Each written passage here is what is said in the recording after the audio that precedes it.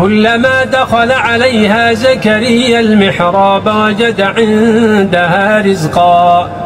قال يا مريم أنى لك هذا؟ قالت هو من عند الله. إن الله يرزق من يشاء بغير حساب. هنالك دعا زكريا ربه قال رب هب لي من لدنك ذرية طيبة إنك سميع الدعاء.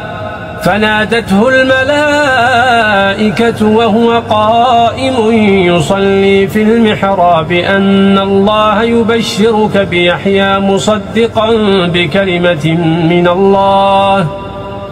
مصدقا بكلمة من الله وسيدا وحصورا ونبيا من الصالحين